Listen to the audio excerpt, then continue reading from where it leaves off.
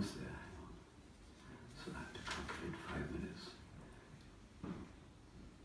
Okay. It was when his point of crisis was his inner world. And since I only have five minutes, I have to take up the story midway. I thought deeply myself and tried to find out from others about the reasons of such a terrible situation within my inner world, but could not clarify anything at all. From one side, it is clear that it is necessary to remember myself during the process of ordinary life also. And from the other side, there is, this, there is a necessity for the presence of attentiveness which is able to merge in the case of contact with others.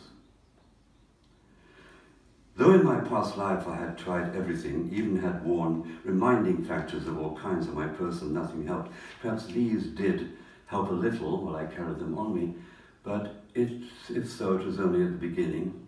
As soon as I stopped carrying them or got used to them, in a moment it was as before. There is no way out whatsoever. However, there is. There is one exit only to have outside myself, so to say, a never sleeping regulating factor. Namely, a factor which could remind me always, in my every common state, to remember myself. But what is this? Can it really be so?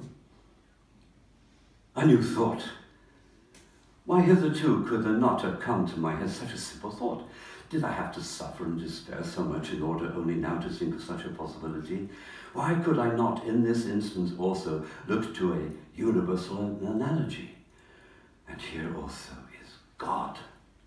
Again, God. Only He is everywhere, and with Him everything is connected. I am a man and as such I am in contrast to all other outer forms of animal life created by him in his image. For he is God, and therefore I also have within myself all the possibilities and impossibilities that he has. The difference between him and myself must lie only in scale.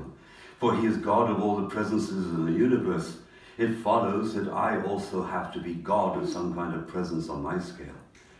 He is God, and I am God. Whatever possibilities he has in relation to the presences of the universe, such possibilities and impossibilities I should also have in relation to the world subordinate to me. He is God of all the world and also of my outer world. I am God also, although only of my inner world.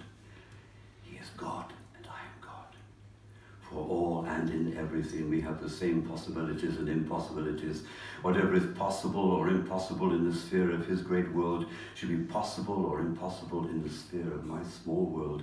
This is as clear as that after the night must inevitably come the day. How could I have failed to notice such a startling analogy? I thought so much about world creation and world maintenance and in general about God and his deeds and also had discourse with many others about all these matters, but never once had there come to my mind this simple thought, and yet it could not be otherwise. Everything without exception, all sound logic as well as historical data, reveal and affirm that God represents absolute goodness. He is all loving and all forgiving. He is the just pacifier of all that exists. At the same time, why should he being as he is, sent away from himself one of his nearest, by him animated, beloved sons, only for the very, for only for the way of pride proper to any young and still incompletely formed individual, and bestow upon him a force equal but opposite to his own, I refer to the devil. This idea illuminated the condition of my inner world like the sun and rendered it obvious that in the great world for the possibility of harmonious construction, there was inevitably required some kind of continuous perpetuation of the reminding factor. For this reason, our Maker himself, in the name of all that he had created, was compelled to place one of his beloved sons in such an, in the objective sense, invidious situation. Therefore, I also have now from my small inner world to create out of myself from some factor beloved by me and alike an ending source. So I'll finish it there so you can time.